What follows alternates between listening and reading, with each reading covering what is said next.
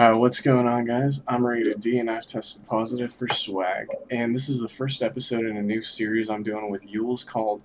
Well, I, I already had one episode about Shenmue, which he kind of, you know, told me I should make a video on it. The bias against Sony. Okay, and this is the first episode about YouTubers. So, what's going on, Yewles? Introduce yourself. Hey, this is Yewles. By the way, I gotta ask a question. Is swag a disease? You keep t- saying you test yourself positive for it. Is it contagious? Should I be? Should I be away from you? nah, I think you're good. Um, Okay. yeah, you can't be too safe when it comes to illnesses. Uh, like you know, the disease that all these Xbox fans have, which we're we're gonna get into that in a moment. And we're gonna start off by talking about some of you guys may remember him in the past. Uh, most of you guys, if you're fairly new to the community, you probably have no idea who he is. Probably for the better. Um, Sonic and Tails for Life recently found my channel, and he claims that I'm a liar. not only did he not realize that the video I made the other day, you know, poking fun at Blazing Phoenix doing a parody video of his, he didn't realize that it was a parody video, even though I had it in the description. Um, he claims that I lied about Ratchet and Clank on PS3, the collection being 1080p 60 frames per second. He also claims that I lied about Okami HD being at 4K, and the PS3 obviously outputs in 1080p, so it can't, you know, go up to 4K. Um, the funniest thing about this, before I hand it over to Yewles, is the fact that the Okami report about it being 4K was made by the developer themselves, and I sent Sonic and Tails a link to the to the story, and then he says that it was outdated, even though it was published around the time the game came out.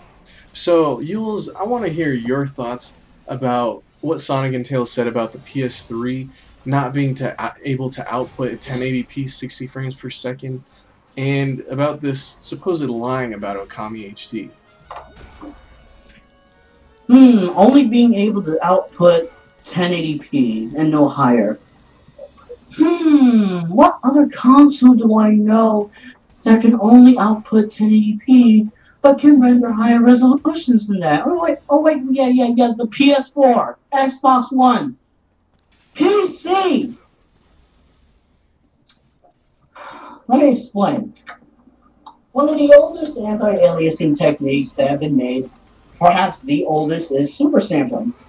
Super sampling is basically putting the game at a much higher resolution and then redisplaying it in a lower resolution display just to kill off and um, just to kill off all kinds of jaggies and disruptions the aliasing and whatnot. This this port of Okami was made by Hexadrive. This this team is basically the gold standard for remasters. Forget about Bluepoint. Hexadrive are the magic makers. I mean, apart from Okami, which I'll get back to in a minute, we're talking about the team that did Wind Waker HD on the Wii U. Look how marvelous that looks. Still quite possibly the cleanest and best image quality in any Wii U game ever. And then the magic that they did was only Enders HD Part 2 to be specific, because of the horrors of I can't believe I'm about to say their names again. High Voltage Studios. no, no, because people forget there's a difference between rendering and outputting. All right? Depending on how many resources that how much in resources that you're using for your game, you can output you can render at a higher resolution, even though there's a limit to how much you can output. I mean, think about this. There are now several PS4 games. Um, to be more specific, their um, Child of um, Child of Light is a Child of Light or Child of Eden that's on PS4 and Xbox One. Um, I think it's Child of Light. The Ubisoft 2D game. Yeah, I think it's Child of Light. Because the same writer from Assassin's Creed Syndicate wrote that. I think that was it. Both games are actually at a resolution of 1440p, 2560 by 1440. Now, another PS3 game that's actually at that same resolution and at 60 frames per second, because of how much little is taken up for the rest of the game, would be Flow. Flow actually renders at 1440p because it's actually 720p with four times super sampling anti-aliasing. So four times the screen size. And this is super sampling people. As um, discussed and explained by that game company themselves. So basically, it's natively rendering at 2560 by 1440 flow, while only being outputted at 1080p. Why? Edge cleaning, anti-aliasing. So what would Extra you? drive. Oh, sorry. Sorry, go ahead. Okay, what would you have to say to Sonic and Tails for Life when he says that the PS3 is only capable of outputting, uh, or is only ca- truly capable of 1080i 30 frames per second, is what he says. 1080i. There are over 50. There are about 53 PS3 games that actually output at true 1080p, and about two that actually go past that. Flow and Okami HD. Okay, it's not just it's not just Hexadrive talking about the 4K rendering. Two months ago, Digital Foundry brought it up. And Yeah. about a few weeks ago, Did You Know Gaming brought it up. yeah, yeah, I'll have links to both of those in the description. The Did You Know Gaming video and the Digital Foundry article. I forgot about those.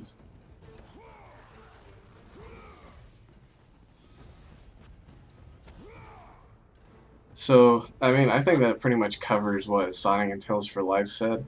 Just another example of somebody that doesn't know anything about the PS3 that is still stuck in the days of trying to criticize Sony for no good reason. Um, I, I think the only other thing that I really want to talk about in this particular video, because I want to make this into a series where we talk about stuff every so often. I don't want to throw everything at you guys at once. Um, the fact that the other day, Crap Gamer, eh, I mean, I know you guys expect him to say dumb stuff all the time, but the other day in the Big Gamer Small Talk podcast when they were talking about Iwata, Crap Gamer, you know, he's saying how it's a it's a sad situation or whatever, but you know, it it shows that people at Microsoft care. You know, you got all these people at Microsoft, you know, sending their condolences out and you know having these you know heartfelt good wishes or whatever. A lot of people at Microsoft saying all this stuff, but he just avoids saying anything about the people from PlayStation that did the same things, like Adam Boyes did it right then, and crap didn't say anything about it. What would But it wasn't just Adam Boyes. Shuhei Yoshida himself, various other PlayStation related Twitters brought it up, giving condolences. And the thing that annoys me, and I want to know what you have to say, Yewles, because you've been in this community way longer than I have. What do you have to say about all these people that they decide to filter the news to make it seem like Sony is not involved as much, or Sony's not, you know, as kind as Microsoft in a case like this? The fact that they're, even in the case of somebody's death, trying to downplay Sony. Well, number one, if you're really doing that, shame on you. Number two, to be fair, the I'm going to be honest, I don't think we should be talking about this anyway. What we really should be doing is having a moment of silence. Yeah, that's a good point.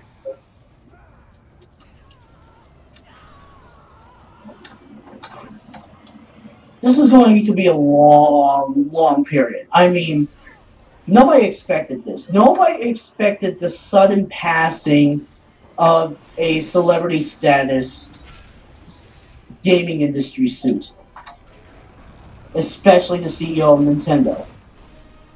For all the crap I've given Nintendo over the years, Satoru Iwata really tried to make his company the best that it could be, It doesn't matter if we disagreed with his, his with his business choices. He still tried his best, and he still tried to entertain all of his fans and all of his consumers.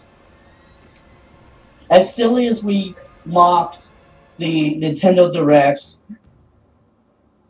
he still tried his best to to be charming and entertaining and be assuring to his consumer base that they're trying to bring a level of quality that Nintendo is known for, even if guys like you and me are just not into that. Yeah, I I agree wholeheartedly. I mean, the thing is, I, I didn't make a video about this the other day, and I didn't. I definitely wouldn't have put ads on the video if I made one. but you know, all over the comment sections on YouTube when I was posting stuff about like, it, it shocked me. It came out of nowhere, like you said, and he was only 55. You know, it, it's insane. And I, want to make it clear though, because eh, I agree with what you say, Gills, that we really shouldn't be talking about stuff like this. I, I want to make it clear before anybody tries to say I'm doing the exact same thing as crap. It, I, I tried to have a distinction between the two questions. First off, about somebody trying to filter the news, and then about trying to use someone's death to downplay something. That's all I was doing. I, I don't want anybody to get the wrong idea or whatever. But I think that was a pretty productive discussion. Um, for the first episode, well, second technically, but and, and again, I want to thank you, Yewles, for telling me about the the Shenmue situation because I was kind of casually following it, but I hadn't been on on the internet much at all after E3. So, but thanks for doing this video with me, and do you have any any last words? yeah, if you tell me to keep it frosty one more time, I'm going to lambast you with so many Star Wars fanboy comments. wait, wait, wait. Keep it PlayStation, right?